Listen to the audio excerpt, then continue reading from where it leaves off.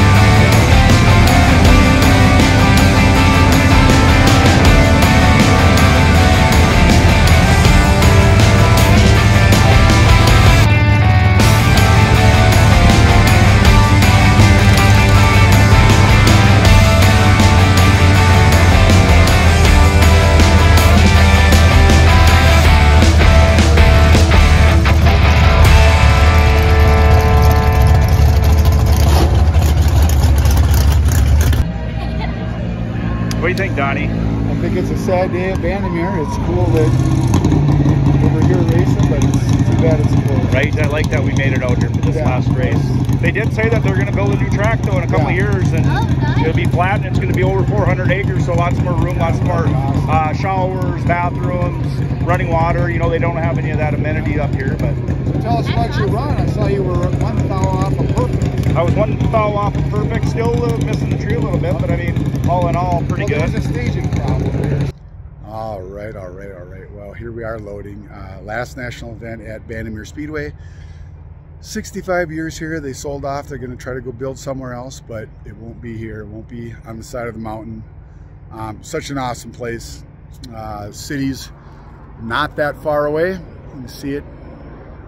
Maybe not in the daylight like this, but Red Rock Amphitheater, right on the other side of the hill. Went and saw a string cheese incident last night. That was interesting. Uh, pretty cool. Saw Chicago there before. If you've never been to Red Rock for a concert, put it on your bucket list. You won't regret it. Even if you fly out just to do that, it's worth it. But we're leaving here. Um, yeah, it's a it's a weird thing to come here for so many years. I figure I've come out from Minnesota, 40 races. I think I've come out here. So a lot of traveling, but it's been worth it. These guys are awesome out here. John Bandimere treated us so good the first time we came back in our 20s that we just kept coming back. So uh, it's really it's, it's kind of weird to, to have it be done here, but um, we are going to load up the Nova and take it home and freshen her up a little bit, and then uh, head off to Topeka and uh, see what we get done there. But uh, that's it from Denver for good. So out. What you working on? 4L60 out of a 2014 half-ton express van. Uh, a guy called last Friday. Uh, broke down, needs it real bad. I was gonna sell him a reman, but remans aren't available, so the fool that I am, good or bad, I turned it on knowing I had to leave on Tuesday. So I gotta jam this out tonight and Matt will put it back in tomorrow. We pulled it out this morning. So just finishing up washing it. Those are the rest of the parts. We wash everything all the way through complete and blow them off with hot soapy water. When I get done with that, I'll assemble it. Should be able to get most of it put back together tonight. Working on the forward clutch drum here and all things. And all these parts are over here are for it, Just, just on this table. just on that table. This is out of a 700 4060 or 700 R4. This is here. That's all out of this one. Yeah. Okay, that's all from the same thing. Yep. This is all. This is all from one transmission. Yep. Then there's little, there's a few more parts I'll show you in just a second here.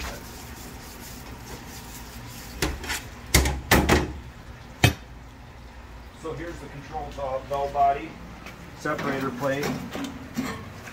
That's what a valve body looks like. Cheapers. hydraulic passages for hydraulic for the tranny oil. You got that. Those are some of the clutches that I took out of it and the internal pistons and stuff and a sun shell.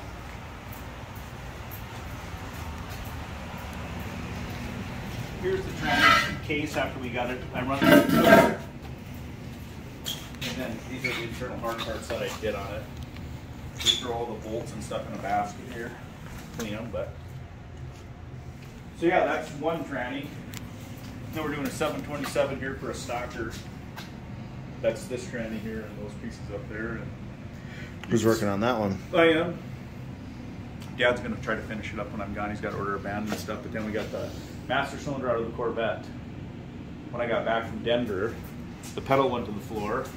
I suspect there's something wrong with the valve in it. I don't know. I have no brake fluid leaks. All the calipers are nice and dry and stuff. So we ordered a new master. I'll bench bleed that up tonight and get that put on, and we'll bleed the bleed the wheels and get a transfer case to do. But I'll have to wait till I get back for that one. That's for Joel's car.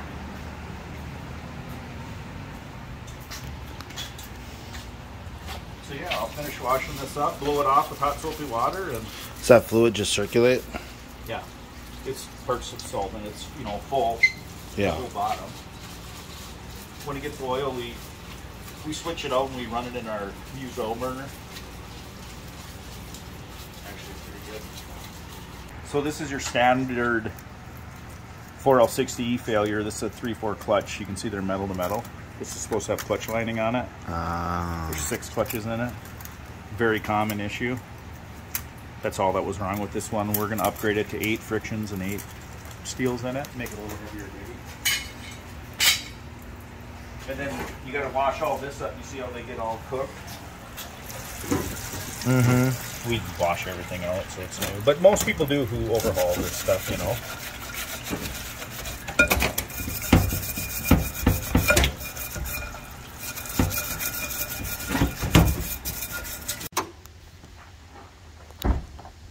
Take this old beater truck and transform it into subscribe to drive. We'll gut all this out, we'll clean it all up. We got a 408 LS motor built by Line Performance. Uh, stay tuned, we'll show you uh, progress as we go.